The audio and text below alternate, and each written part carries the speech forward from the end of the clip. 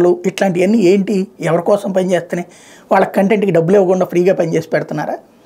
Number one రెండోది వచ్చేటప్పటికి ఇక్కడ డబ్బులు ఇస్తున్నారు అని రాసుకొచ్చే వాళ్ళకి పేటీఎం బ్యాచ్ మరి వాళ్ళని ఏమనాలి? దోపిడీ గ్యాంగ్ అని రాయాలనుకుంటాను. ఇంకోటి అక్కడ వాళ్ళు సాక్షి వాళ్ళదే సొంతది ఖచ్చితంగా.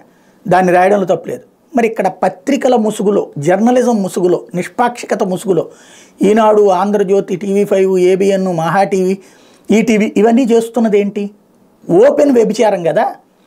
వ్యభిచారి ఎదుటి వాళ్ళని సంసారి కాదు అన్నట్టుగా ఉంది ఇక్కడ సమస్య. ఏంటంటే ఇప్పుడు నిజాయితీగా నిర్భయంగా ఎవడన్నా మాట్లాడాడు అనుకోండి యూట్యూబ్లో వాళ్ళ మీద ఇదిగో వీళ్ళ మనిషి అని ముద్రేసేయాలి అదే వీళ్ళు మాత్రం నిష్పాక్షికంగా ఉన్నారని చెప్పి నమ్మాలి. ఇది ఏంటంటే బురద గుంటలో కూర్చున్నటువంటి పంది పక్కనున్నటువంటి వాళ్ళ మీద చల్లి నేను అద్భుతమైనటువంటి దాన్ని అని చెప్పి ఫీల్ అవుతుందంట. అది ప్రస్తుతం జరుగుతున్నటువంటి తంతు ఇక్కడ స్పష్టంగా కనబడుతున్నటువంటి వైనం.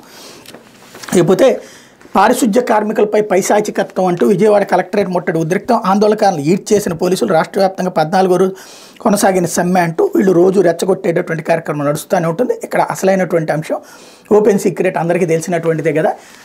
కమ్యూనిస్టుల ఆధ్వర్యంలో నడుస్తున్నటువంటి ఉద్యమం. లేకపోతే మరో అరాచకం అంటూ టీడీపీ కార్యకర్త ఇంటి ముందు కాల